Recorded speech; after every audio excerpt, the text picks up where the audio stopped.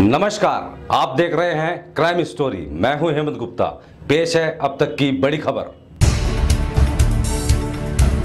Joint magistrate Nitika Khandelwal द्वारा ART कार्यालय पर मारा गया छापा।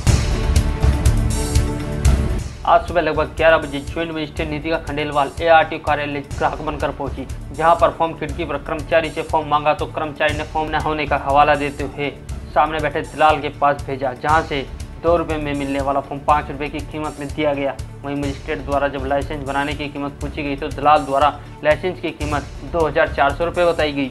हम आपको बता दें कि जबकि लाइसेंस की सरकारी फ़ीस तेरह सौ नब्बे रुपये है। कार्यालय में जैसे ही पता लगा कि ज्वाइंट मजिस्ट्रेट द्वारा छापा मारा जा रहा है तो कर्मचारी हरकत में आ गए।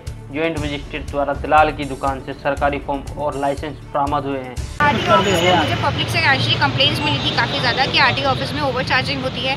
एक एक लाइसेंस बनाने के चौबीस सौ सौ रुपये फ़ीस ली जाती है। तो मैं यहाँ पे एक अनोनमस तरीके से आई थी और सबसे पहले आते मैंने देखा कि काउंटर पे फॉर्म्स खत्म थे। फॉर्म्स ही नहीं मिल रहे थे। उस मिलने के बाद मैंने बाहर जाके देखा तो एजेंट्स के थ्रू मुझे फॉर्म मिला और फिर मैंने कोशिश करी कि देखूँ कि कहाँ कैसे फ़ीस देनी है क्या देनी है। तो प्रोसेस मुझे अंदर समझाया गया लेकिन मुझे बाहर एजेंट्स ने बताया कि बिना ड्राइविंग टेस्ट के भी यहाँ पर लाइसेंसेस बन जाते हैं।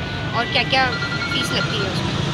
मेजर इशू यही आता है सबसे पहले कि जो बाहर एजेंट्स फॉर्म दे रहे हैं, बाहर अंदर सरकारी ऑफ़िस में फॉर्म ही नहीं मिल रहे हैं। तो जब यहीं से शुरू हो जाता है तो जो इंसान एक बार ऑफ़िस से बाहर निकल के एजेंट के पास चला गया तो उसको तो प्रोसेस सारा कंप्लीट चाहिए और वो एजेंट उसको सारे प्रोसेस बता देता है इंक्लूडिंग द फॉर्म तो सबसे पहली अनियमितता तो यही है कि जब काउंटर पे फॉर्म ही नहीं मिल रहे हैं और फॉर्म दिए नहीं जा रहे हैं चार रुपये का फॉर्म है और बाहर पाँच रुपये का मिल रहा है तो यहीं से स्टार्ट हो जाता है और पता चल जाता है कि कहाँ एजेंट्स का कोलाइजन है देखो कार्रवाई होगी आप लोग को पता चलेगा पहले तो सबसे पहले ए आर के अगेंस्ट कार्रवाई होगी ठीक है? उनकी रिपोर्ट मैं डीएम सर को भेजूँगी और उनके स्तर से जो होगा उनकी सैलरी रोकने का यहाँ पे कार्रवाई वो होगी प्लस दो लोग जिन्होंने फॉर्म लेने से मना किया ए अपने स्तर से उन लोग के अगेंस्ट कार्रवाई करेंगे अभी तो ये लोग यहाँ में कोई भी ट्रेस करें मिला जैसे ही हमारी गाड़ी आई वो तुरंत भाग गए।